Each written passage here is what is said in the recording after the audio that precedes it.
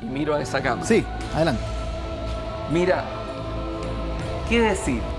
Yo lo que puedo decir como descargo ¿ah? es lo siguiente, aprendamos la lección. Hoy día estamos haciendo un nuevo ciclo de cambio y muchas veces yo veo en el debate político hablar con, con consigna, algunos a meter miedo en vez de razonar. Aquí lo que se está haciendo es un cambio, un cambio a través de la reforma, la democracia y la libertad.